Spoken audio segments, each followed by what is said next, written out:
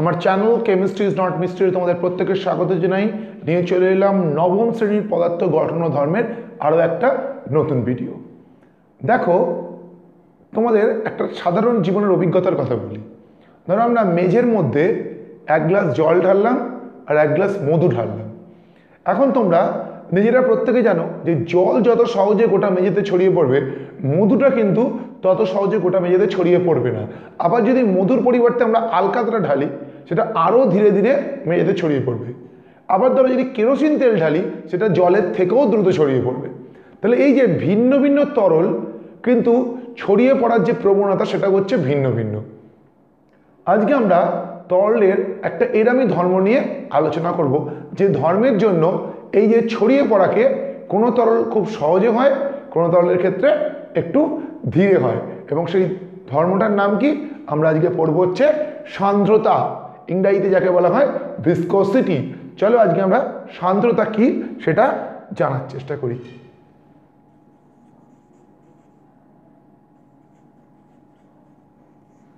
ধরো, এইটা একটা পাইপ, এর মধ্যে দিয়ে জল যাচ্ছে। কি বললাম? এই পাইপটার মধ্যে দিয়ে জল যাচ্ছে। এখন কি হয়?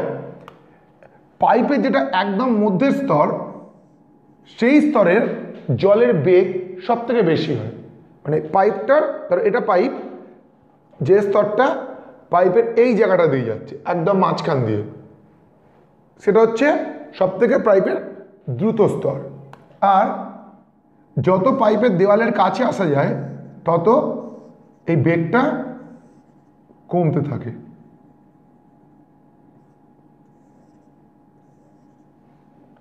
এখন এই স্থির যে সরি যে স্তরগুলো ধীরে ধীরে প্রবাহিত হচ্ছে, সেই স্তরগুলো কি করে? যে স্তরগুলো দ্রুত প্রবাহিত হচ্ছে, তাদের যে গতি, তাকে বাধা দেয়। অর্থাৎ এই স্তরটা তার ওপরে দ্রুতগামী স্তরটাকে পেছন দিকে টানার চেষ্টা করে। এই যে তরলের ধর্মটা, এই ধর্মটাকেই বলা হচ্ছে সান্দ্রতা। মানে তরলের যে ধর্মের জন্য, তরলের একটি স্তর অপর স্তরের আপেক্ষিক গতিকে বাধা দেয়। অর্থাৎ এই তরলটা এগিয়ে যাওয়ার পথে একটা পেছন দিকে ড্র্যাগ বা পুল অনুভব করে, তাকেই আমরা বলি হচ্ছে তরলের সান্দ্রতা। এটা কখন হবে? যখন এই দুটো স্তরের মধ্যে আপেক্ষিক বেগের পার্থক্য থাকবে। সবকটা স্তর যদি একই বেগে যেত, তাহলে কিন্তু এই ঘটনা ঘটতো না। স্তরগুলো ভিন্ন ভিন্ন বেগে থাকলে তখনই কিন্তু একটা স্তর অন্য স্তরকে আকর্ষণ করবে। অর্থাৎ তার গতিকে বাধা দেবে। এই ঘটনাটাকে আমরা বলব হচ্ছে তরলের সান্দ্রতা। ঘটনা বললে ভুল, এই ধর্মটাকে বলব হচ্ছে আমরা সান্দ্রতা। সান্দ্রতা হচ্ছে তরলের একটা ধর্ম। যদিও এই সান্দ্র ধর্মটা গ্যাসের ক্ষেত্রেও দেখা যায়, তোমাদের সিলেবাসে সেটা নেই।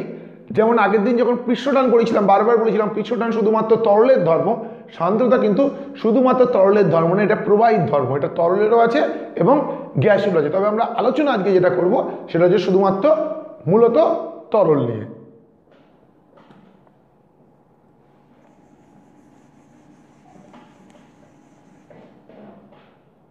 তাহলে আমরা বুঝতে পারলাম সান্দ্রতা ব্যাপারটা কি। এরপরে যেটা রয়েছে, সেটা হচ্ছে এই যে বললেন যে ঘর্ষণ বল। এখন ঘর্ষণ বলের সঙ্গে সান্দ্রতার মূল তফাতটা কি? যখন ধরো এটা একটা মেজের মধ্যে দিয়ে আমরা একটা এরকম বাক্সকে টেনে নিয়ে যাচ্ছি, তখন এই মেজে আর বাক্সের যে সংযোগস্থল, সেখানে কিন্তু ঘর্ষণ বলটা কাজ করে। সান্দ্রতাও ঠিক তাই, সান্দ্রতাও কিন্তু এই যে দুটো তল এঁকেছিলাম, এই দুটো তলের স্পর্শক বরাবরই কিন্তু কাজ করে স্পর্শ তল বরাবর। অর্থাৎ যেটা যার সঙ্গে ঠেকে আছে, তার সঙ্গে কিন্তু সান্দ্রতা এবং ঘর্ষণ দুটোই কাজ করে। তাহলে এটা হচ্ছে সান্দ্রতা এবং ঘর্ষণের মধ্যে সম্পর্ক। সান্দ্রতাকে আমরা কি বলতে পারি? ফ্লুইড বা প্রবাহীর আভ্যন্তরীণ ঘর্ষণ। মানে প্রবাহীর যে স্তরগুলো রয়েছে, সেই স্তরগুলোর নিজেদের মধ্যে ঘর্ষণ বলটা হচ্ছে সান্দ্রতা। তাহলে সান্দ্রতা কি? সান্দ্রতা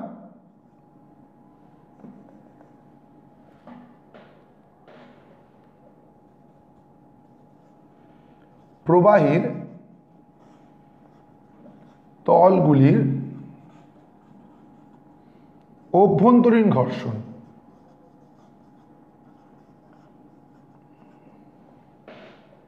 এবং সাধারণ ঘর্ষণ এবং সান্দ্রতা দুটোই কিন্তু গতিকে বাধা দেয়। অর্থাৎ কোনো বস্তুর গতিকে বাধা দেয় হচ্ছে সেই বস্তুর ঘর্ষণ বল সান্দ্রতা কে বাধা দেয় তরলের প্রবাহকে। কিন্তু দুটোর মধ্যে বৈসাদৃশ্য রয়েছে, সেটা কি? সাধারণ ঘর্ষণ বলের মান কিন্তু এই স্পর্শতলের ক্ষেত্রফলের উপর নির্ভর করে না। অর্থাৎ ধরো এই পেনটাকে আমি এইভাবে নিয়ে গেলেও যা ঘর্ষণ বল হবে, কিন্তু এই পেনটাকে আমি খাড়া করে নিয়ে যাই, যখন স্পর্শতল কম, সেক্ষেত্রেও কিন্তু একই ঘর্ষণ বল অনুভূত হবে। কিন্তু সান্দ্রতার ক্ষেত্রে ওই স্পর্শতলের ক্ষেত্রফলের উপর নির্ভর করে। অর্থাৎ স্পর্শতলটা যদি কম হয়, তাহলে সান্দ্রতা কম হবে, স্পর্শতলটা যদি বেশি হয়, তখন সান্দ্রতা বেশি হবে।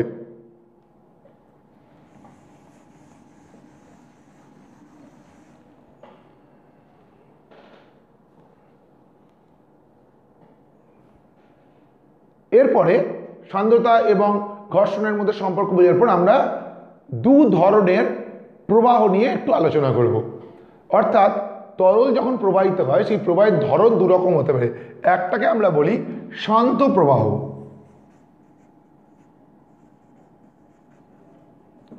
বা এটাকে বলা হয় হচ্ছে ইংরাজিতে ল্যামিনার ফ্লো বা স্ট্রিমলাইন ফ্লো আর একটা হয় হচ্ছে এটা আর একটা নাম ধারারেখ প্রবাহ। ধারারেখ। আর একটা হচ্ছে অশান্ত প্রবাহ।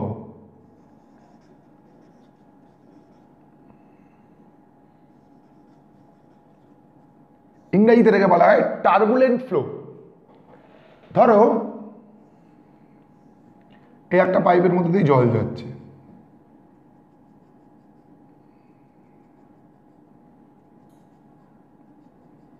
ধারাটেকো প্রবাহ মানে কি? ধরো এই স্তরের এগুলো জলের অণু। এই প্রত্যেকটা অণুর গতিবেগ হচ্ছে সমান। মানে পিছনের যে অণুটা, সে সামনের অণুকে অনুসরণ করছে। ঠিক তার পেছন পেছনই যাচ্ছে। এর গতিপথ পরিবর্তন করছে না। তাকে আমরা বলব হচ্ছে শান্ত প্রবাহ বা ধারারেখ প্রবাহ স্ট্রিম লাইন ফ্লো মানে এই আর একটা স্তর, ধর এই স্তরটাকে আমরা কল্পনা করছি। এখানে এই যে পরপর অণুগুলো রয়েছে, পেছনের জন সামনের জনকে অনুসরণ করবে। মানে ধরো তোমরা খুব সুন্দর করে একসঙ্গে সারিবদ্ধভাবে হেঁটে যাচ্ছ। পেছনের জন সবসময় সামনের জনকে অনুসরণ করছ। তারই মতো বেগে যাচ্ছ, অর্থাৎ দুজনের দূরত্ব তাহলে একই থাকবে, যদি বেগ কম বেশি না হয় এবং এঁকে বেঁকেও যাচ্ছ না, একদম স্ট্রেট লাইনে সেই জন্য নাম হচ্ছে ধারারেখা প্রবাহ বা স্ট্রিম লাইন ফ্লো এটা কখন হয়? যখন খুব সরু কোনো টিউবের মধ্যে দিয়ে ধীর বেগে তরল যায়। সরু নলে ধীর বেগে গেলে। তখন হয় হচ্ছে শান্ত প্রবাহ, আস্তে আস্তে আস্তে আস্তে যাচ্ছে। আর একটা হয়, তাকে আমরা বলি অশান্ত প্রবাহ বা টার্বুলেন্ট ফ্লো সেখানে কি হয়? এই স্তরগুলো মধ্যে মিশে যায়, অর্থাৎ একটা অণু তার পেছনের অণুর গতিকে অনুসরণ করে না। ধরো একটা ভিড় যাচ্ছে, দুর্গা পুজো দেখতে যাচ্ছ, এক দল একসঙ্গে যাচ্ছে, কেউ কাউকে অনুসরণ করছে না। যে যার মতো ইচ্ছা মতো আঁকে বেঁকে যাচ্ছে। তখন সেটাকে আমরা বলছে টার্বুলেন্ট ফ্লো বা অশান্ত প্রবাহ মানে এখানে এই যে গতিটা, এর সঙ্গে এর গতি একই নাও হতে পারে। এর পেছনে থাকতে পারে, কিন্তু এরামও চলে যেতে পারে এরামও চলে যেতে পারে। অর্থাৎ সামনের জনকে অনুসরণ করছে না, যেমন ইচ্ছা নিজের মতো অশান্ত হয়ে ঘুরে বেড়াচ্ছে। তাকে আমরা বলব অশান্ত প্রবাহ বা টার্বুলেন্ট ফ্লো কখন এটা হয়? ধরো, কোনো চওড়া নদী খুব দ্রুত বেগে যাচ্ছে, খরস্রোতা নদী, কিংবা মোটা পাইপের মধ্যে দিয়ে খুব স্পিডে জল যাচ্ছে, তখন এটা কি? চওড়া জায়গা দিয়ে চওড়া স্থানে দ্রুত বেগে প্রবাহিত তরল। তখন সেটা হবে হচ্ছে টার্বুলেন্ট ফ্লো বা অশান্ত প্রবাহ। প্রথম যেটা বললাম, শান্ত প্রবাহ, যারা এই শান্ত প্রবাহে যায়, তাদের একটা নাম আছে, তাদেরকে আমরা তখন বলি হচ্ছে নিউটোনিয়ান ফ্লুইড। যদিও তোমাদের নিউটোনিয়ান ফ্লুইড বিষয়বস্তু সিলেবাসে নেই, তোমরা শান্ত প্রবাহ এবং অশান্ত প্রবাহ, এই দুটো ব্যাপার বুঝে রাখলেই চলবে। মানে প্রবাহ কখন শান্ত থাকবে আর সেই প্রবাহই কখন অশান্তে পরিণত হবে। তবে এমন কিন্তু নয় যে কোনো তরল এইভাবে যায় বলে এইভাবে যেতে পারবে না বা এইভাবে গেলে এটা কিন্তু তরলের নিজস্ব ধর্ম নয়। তরলটা প্রবাহিত হওয়ার সময় এই ধরনের ধর্ম সৃষ্টি হয়।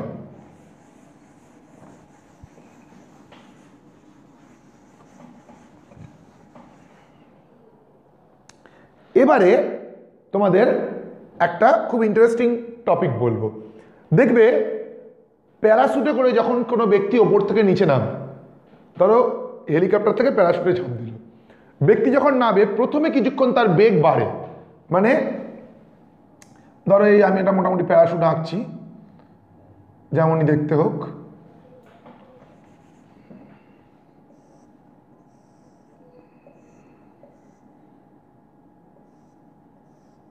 ধরো এটা একটা প্যারাশুট যাই হোক, সোজা হয়নি।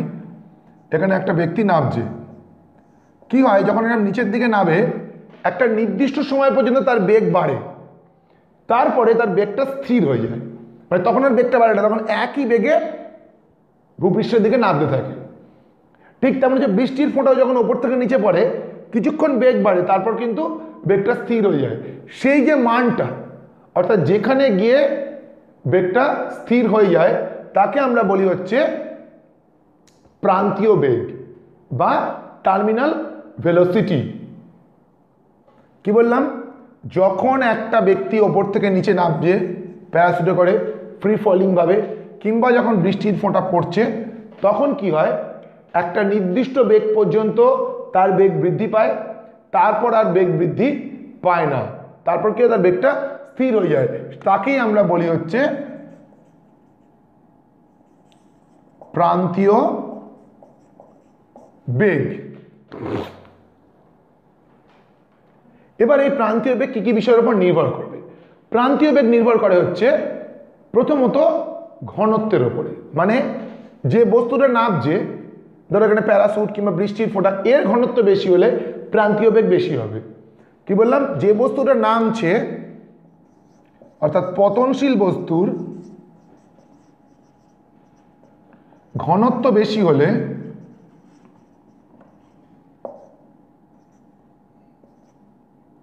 প্রান্তীয় বেগ বেশি হবে।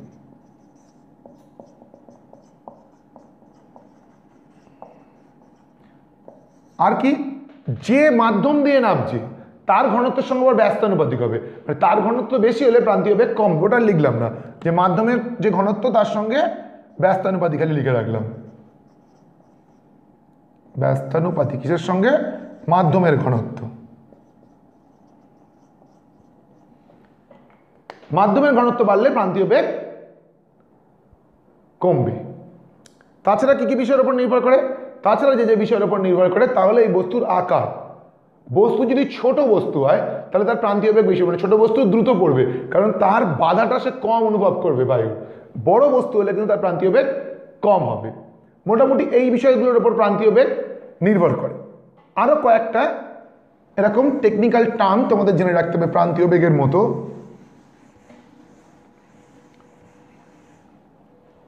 আরেকটি আছে, তাকে বলে সংকট বেগ ক্রিটিক্যাল ভেলোসিটি সংকট বেগ। একটু আগে যেটা ভিডিওতে আলোচনা করেছিলাম স্ট্রিমলাইন ফ্লো এবং ল্যামিনার ফ্লো অর্থাৎ শান্ত প্রবাহ, অশান্ত প্রবাহ, সেটা হচ্ছে শান্ত প্রবাহ একটা নির্দিষ্ট বেগ অতিক্রম করলেই সেটা অশান্ত হয়ে যায়। শান্ত প্রবাহ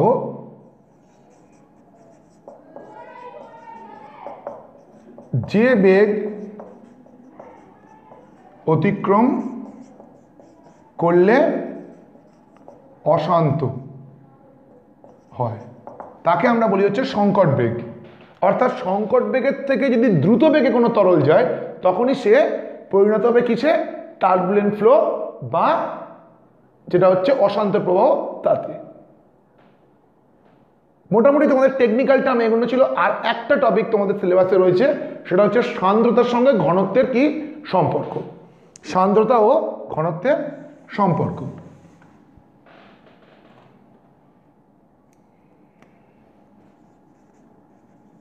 সান্দ্রতা ও ঘনত্ব।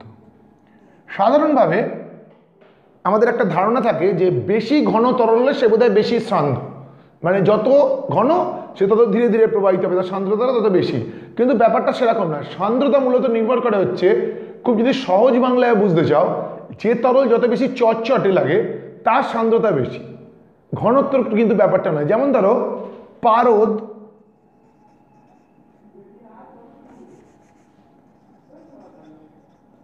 পারদের ঘনত্ব কিন্তু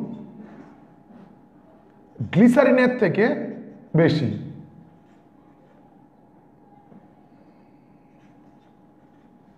কিন্তু সান্দ্রতার ক্ষেত্রে আবার ব্যাপারটা উল্টে যায়। গ্লিসারিনের সান্দ্রতা কিন্তু পারদের থেকে বেশি। গ্লিসারিন অনেক বেশি চটচটে একটা তরল। যারা গ্লিসারিন দেখেছ, তারা জানো। পারদ কিন্তু সান্দ্রতা বেশি নয়, পারদের ঘনত্ব বেশি। কিছু কিছু ক্ষেত্রে আবার দুটো একই রকম হতে পারে। অর্থাৎ সান্দ্রতা এবং ঘনত্বকে কিন্তু আমরা সেই হিসেবে সম্পর্কযুক্ত করতে পারব না যে ঘনত্ব বাড়লে সান্দ্রতা বাড়বে। কিংবা ঘনত্ব কমলে সান্দ্রতা বাড়বে, এটা বলা যাবে না। সান্দ্রতা তরলের একটা ভিন্ন ধর্ম, ঘনত্ব তরলের একটা ভিন্ন ধর্ম, যারা একে অপরের ওপর সাধারণভাবে নির্ভরশীল নয়। অর্থাৎ একটা বাড়লে একটা কমে বা একটা বাড়লে অপরটা বাড়ে, এভাবে বলা যায় না। তোমাদের নবম শ্রেণীতে সান্দ্রতার এটুকু অংশই আছে, খুব বেশি কিছু নেই। আশা করি আজকের ভিডিওটি তোমাদের ভালো লাগবে। ভিডিওটা ভালো লাগলে ভিডিওতে একটি লাইক করো ভিডিওর কোনো অংশ বুঝতে অসুবিধা থাকলে বা আরও কিছু জানতে চাইলে এই প্রসঙ্গে ভিডিওতে কমেন্টের মাধ্যমে জানিও এবং এই ভিডিওটা অবশ্যই নিজেদের বন্ধুবান্ধবদের সঙ্গে শেয়ার করো। যারা আমার চ্যানেলে নতুন, তারা অবশ্যই চ্যানেলটিকে সাবস্ক্রাইব করো। যারা আমার সঙ্গে এতখানি সময় কাটলে তাদের প্রত্যেককে অসংখ্য ধন্যবাদ।